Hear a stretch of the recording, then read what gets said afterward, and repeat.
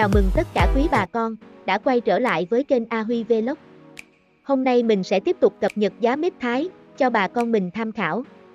Bà con nhớ bấm đăng ký kênh để theo dõi, nắm bắt tình hình giá thường xuyên để bán cho đúng giá. Cảm ơn tất cả mọi người đã đồng hành và ủng hộ kênh A Huy Vlog trong suốt thời gian vừa qua. Sau đây là phần báo giá mít Thái của một số khu vực trong buổi sáng hôm nay, giá được cập nhật lúc 8 giờ sáng.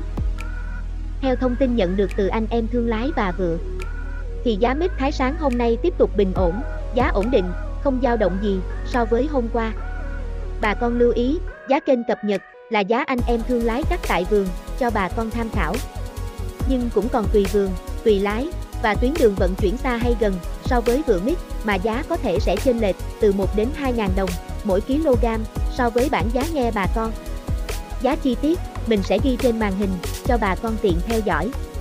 Mời bà con cùng xem video. Giá mít thái tại Đồng Tháp và An Giang. Mít kem lớn 12.000 đồng trên kg.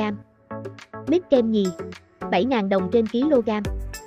Mít kem 3 3.000 đồng trên kg. Giá mít thái tại khu vực Hậu Giang, Cần Thơ và Vĩnh Long. Mít kem lớn 11.000 đồng trên kg. Mít kem nhì 6.000 đồng trên kg. Mít kem 3 3.000 đồng trên kg. Giá mít thái tại Long An. Mít kem lớn 12.000 đồng trên kg. Mít kem nhì 7.000 đồng trên kg. Mít kem 3 3.000 đồng trên kg. Giá mít thái tại Tiền Giang. Mít kem lớn 13.000 đồng trên kg.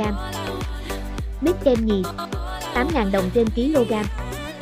Mít kem 3 3.000 đồng trên kg. Giá mít thái tại khu vực Đông Nam Bộ, Đồng Nai, Bình Dương, Bình Phước, Tây Ninh và Bà Rịa Vũng Tàu. Mít kem lớn 8.000 đồng trên kg. Mít kem nhì 4.000 đồng trên kg. Mít kem 3 2.000 đồng trên kg. Giá mít thái tại khu vực Tây Nguyên. Mít kem lớn 7.000 đồng trên kg. Mít kem nhì 4.000 đồng trên kg.